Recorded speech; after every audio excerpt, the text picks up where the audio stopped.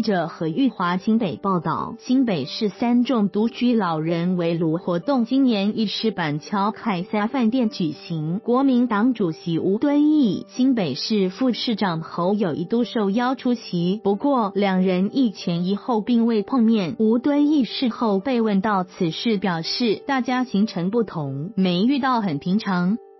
活动原定十一点四十分举行，因故受到延误。先到场的侯友谊一一与到场的长辈握手寒暄，长辈也热情的动算。市长回应致辞时也提到，希望以后每一年都能来跟长辈吃饭聚一聚。随后准备离去前，特意在停车场等候吴敦义。不过就在吴敦义抵达前约三分钟，侯友谊即以感行成为由先离去，转醒与会。的社会局长张景丽，国民党市党部主委李甘龙代为致意。